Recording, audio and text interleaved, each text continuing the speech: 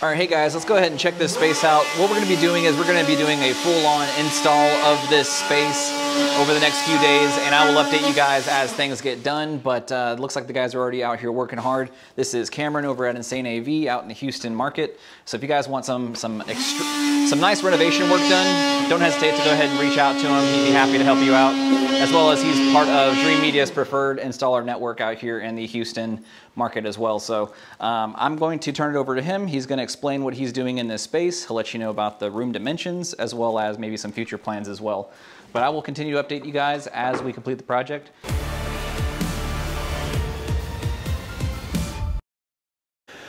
All right, so what we got here, uh, starting another job for a customer. Used to be two doors here, but uh, as we walk into the room, you're gonna see that presented a problem because there was no space to put your rear surrounds. So we're modifying, putting in a single door. It's gonna give us a, a, a spot for uh, our two rear surrounds here.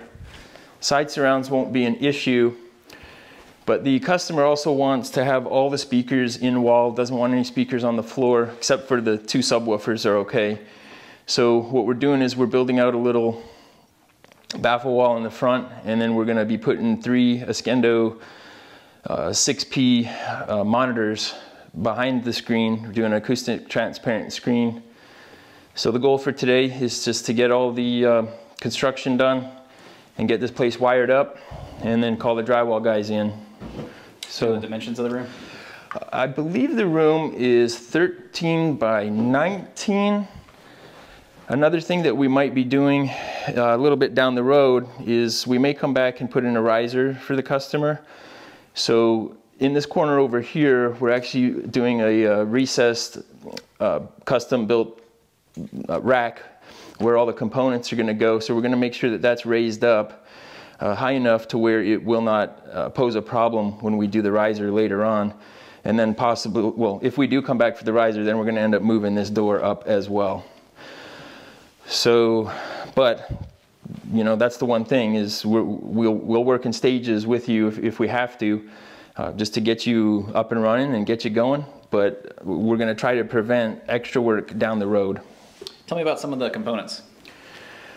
So th this is going to be a JVC NX5 uh, true 4K projector. We've got a Denon 6700. It's going to be a 7.2.4. So the Denon's going to be able to run everything. It's going to be an Ascendo front end, and then all the surrounds are going to be KEF. And the reason why we chose KEF is because we're staying with that coaxial type of mentality, uh, getting all the, our sound waves radiating from one point. So yeah, we're just putting in some some KEF rectangulars for the walls, KEF circulars for the ceilings, and then the Ascendo 6s for our LCRs. I think this is them right here, huh? Yep. That is one of them. And don't let its size fool you. That is a powerful speaker. Screen is going to be a Seymour Center Stage XD. It's going to um, allow us to put it a little closer to the speakers because of the, the weave and it's actually going to uh, produce about as bright as you can with an acoustic screen. It's it's it's got a pretty pretty good reflectance, not not too much negative. Probably pretty close to to uh, a, a true 1.0. Pretty close.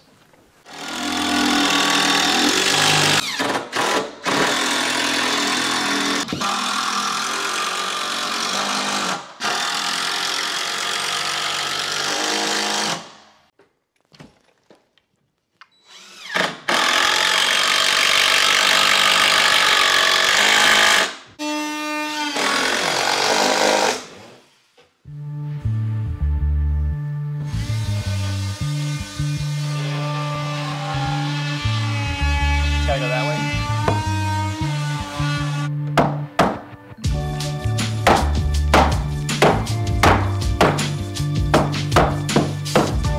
John over here bragging about how big his hammer is. All right, so let's check out end of day one. Got the front wall built out, all wired up, ready for the LCRs and the subwoofers in the corners. We've got the four Atmos speakers cut out, wired, side surround, back surrounds are wired. Obviously we can't cut out for that because we changed the door, went from a double to a single, which will allow us to put rear surrounds in. Got our custom built uh, AV cabinet, built it uh, through the wall into the attic space. So we're not taking up any extra room in the theater. One of the things that uh, when you have a house that's built and the theater's not done is sometimes we're dealing with exterior walls and very tight attic spaces. So we have to make a couple extra cutouts just to be able to get up the, the wires up there and where they need to be. So that's basically next step. We need to get the drywall guys in here, drywall out the front wall, do a few patches and drywall out the door. Then we'll be back, finish the trim, go to paint and install all the equipment and this one will be done. So end of day one. All right, so dropped in for another half day today. Not much change on the front, actually nothing really, but a customer has decided to go ahead and add the riser in. So we put in the riser, it's seven feet deep, got the full step along the side, got a little step, a little oversized on the far side, and then we had to move up the door so we still have attic access. Kind of expected that to happen, and that's why we put that uh, AV shelf a little bit higher to begin with. And uh, yeah, so there's the riser. Everything's ready for drywall now. Okay guys, so let's check out this space real quick. So Cameron's been at work. Uh, he actually helped paint because the painters weren't uh, weren't up to snuff. So he came in here, painted, installed the speakers already, and then it's just been a lot of um, a lot of uh, pickup work as as well. So this was um, raised up because this was basically on the ground. This was installed purposefully, you know, at the height that it was going to be anyway. And then uh, we have the wall sconces in, the projectors up, and now what he's doing is he's putting up the screen, making sure it's nice and level with the laser. But I wanted to pop in real quick, show you guys um, this part of it. So whenever you get the projector, you have to make sure it's updated to the latest firmware. So right here, I just turned it on and it's on version 3.50. So it's a little bit out of focus and that's not necessarily, you know, a, a bad thing because I'm about to update it anyway. And then I'm gonna do the full finishing touches whenever the frame gets up there. So this is 3.50, which is good. You know, it still has the theater optimizer and stuff like that, but they have since gone to the version 3.51. It is April 24th, uh, 2021. So 3.51 is the most up-to-date one that we have right now. So since the projector has zero hours on it, I went ahead and installed the USB on the back of it. And then now what we're gonna do is we're gonna do the update real quick. So this takes roughly 17 minutes, you know, depending on which model that you have. But we're gonna update it to 3.51. And then um, I just wanted to show this off real quick too. And this isn't, you know, stuff that typically gets mentioned. But uh, Cameron installed these little stairs and stuff like that, you know, make it easier for people to walk around. There's gonna be another row of seating right here as well, so that's why there isn't a stair right there. But as you can see, he takes the extra time to put, to match all the plugs, right?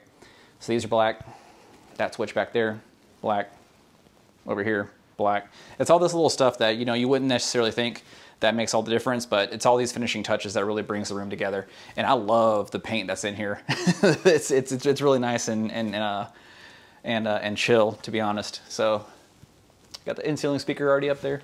got one, two, three, and then you got this little guy right here. And then these uh, sconces give you a really cool really cool uh, array on the ceiling there. So it's kind of a nice little feel. But I'm digging it, so I'm gonna update this, this projector. I'll pop back in here in a minute.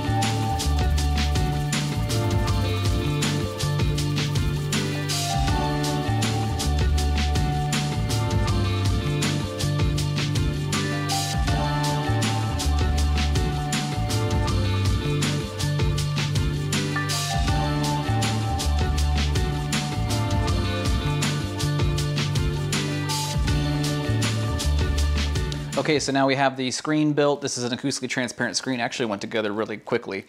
Um, but I wanted to show this before we plop the screen on there. So these are the Ascendo. These are the CCM-6Ps. Is that correct?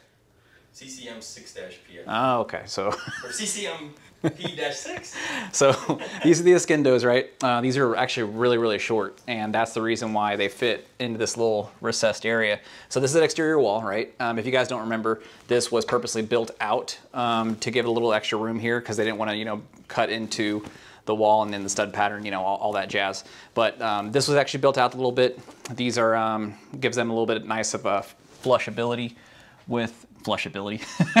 it makes them nice and flush with uh, the wall itself so that even whenever this is behind this knit screen, um, with this woven screen, then you don't have to worry about the screen jiggling or stuff like that. But these are the Ascendos. Really, really like these things. I did a video on this one probably two months ago now uh, that, that's been up. So you guys should check those out. But we're gonna be covering these up with the grills, right? Since this is all black, this is all for a purpose.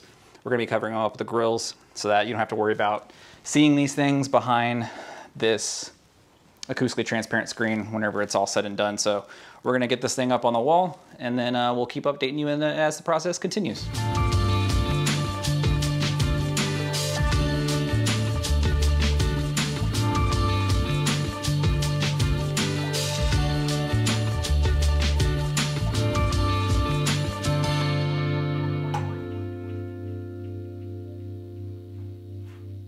Cool. So this is just going to be the final update for you guys. Um, there are some lights in here, so everything is going to look askewed, right? So the white balance is going to be off.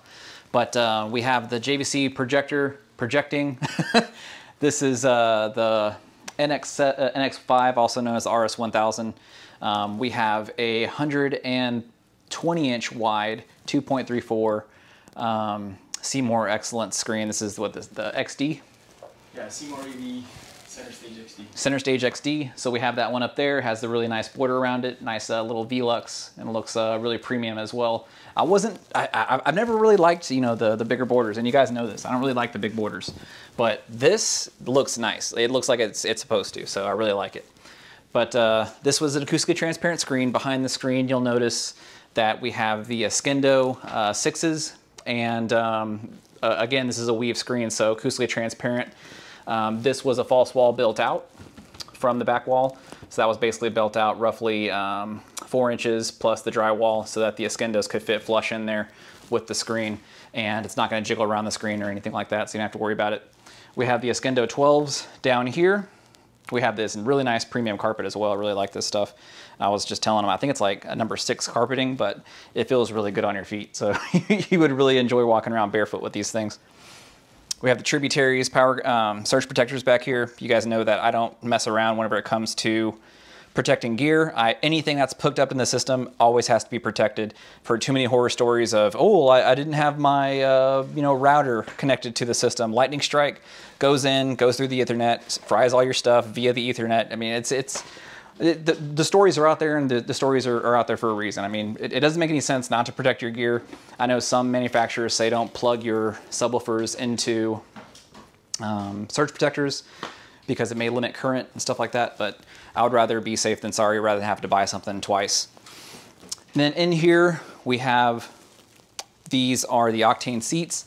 They're really nice uh, fit and finish, I like the diamond stitching on the side there. And these are just really comfortable. I mean, like they're flat leather. You, really, you wouldn't necessarily think, you know, you worry about creases and stuff like that, but these are just some really comfy seats. So over here we have the KEF. These are the in walls, the Uni-Qs. Um, really cool with these is that you can have a wide dispersion area for your sound, so you don't have to worry about you know where you're sitting as much. We have the same thing up here in the ceiling. And if you aren't familiar, you get the uh, different types of grills or you get the different choices. So you can get either the circular, rectangular, or the um, square. And over here we have, they elected for the rectangular for the surrounds. This was moved up, if you guys remember from the original video. Um, this was actually uh, to, to the floor, so they moved it up to get to the attic back there. This was custom built.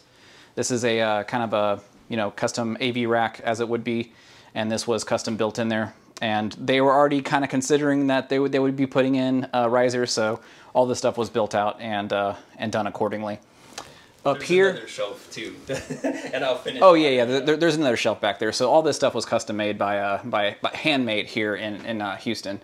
But up here we have the tributaries again protecting the projector. Uh, we have a little Techflex to make all the work the the wrapping look, look look a little neater. NX5 as it would be, I went ahead and did the theater optimizer in here and I set it up for two different. So that, since this is a 235 screen, I set up theater optimizer um, for the 235 on the installation mode and then I set it up again for the 16 by 9 on the installation mode. Again, whenever you do uh, HDR movie, 4K HDR, the projector recognizes the HDR flag and it'll uh, it'll figure all that stuff out. But I want to I wanted to make sure that the customer had everything 100% 100% set up the way I would like it. You know, whenever I'm sitting there watching a movie as well. So he got that 100% treatment as well as the sound calibration. Um, Audyssey doesn't always get it right, so I like to put my personal touch on it. It was actually really close this time, um, to be honest. Uh, the crossovers were the biggest thing that I had to change, but other than that, turned out really, really nicely. Like the sconces, love the black paint, love the carpet in here as well. But uh, let's let's turn off the lights and just show you this space real quick. See if I can just pop these off. So this is this is how it would be. So I kind of was showing you guys um, the way it would look with the lights on, but this is this is nice. This is premium. This is a this is where it's at. So again, full on 7.2.4 system and everything came together really, really nicely. I, I, I, would give this one an A on a report card, and I just love how Cameron goes the extra mile, plans all this all this stuff out. If you could pop lights on a little bit. He even added a Lutron dimmer back there, and then all these plates were converted to black. I mean, it's, all, it's just all the little touches, and then everything was measured out to the nine. So if you're looking straight down right here, you're seeing that kind of armrest right there in the back. So I mean, it's it's just all the little things. I think it turned out really, really nicely. I think the other thing to, to do now is to give you guys a quick little demo, but I'm really excited about this one. If you guys want work like this done, we're out here in Houston, Texas. We're out here in Katy, Texas, I guess, for this job. Yeah, today's Katy. Yeah, today's Katy. but if you guys want something like this, we'll leave our contact information right down below. Really appreciate you guys for watching. I'm going to get into that demo, but thanks for watching, guys.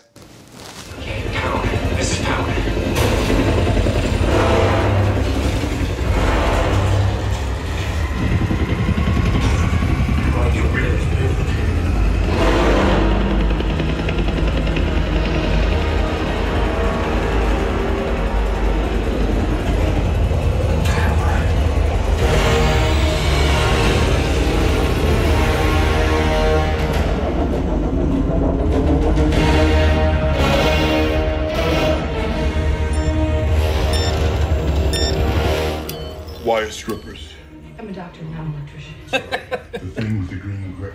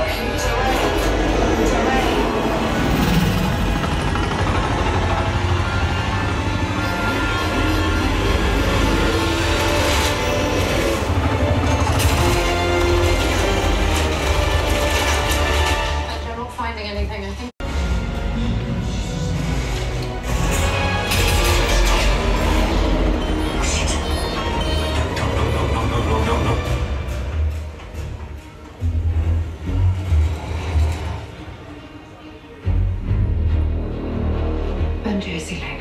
What? Where? He's in a house at the edge of the village. All right, just, just wait for me, okay? Ilsa, wait for me! On to the next one.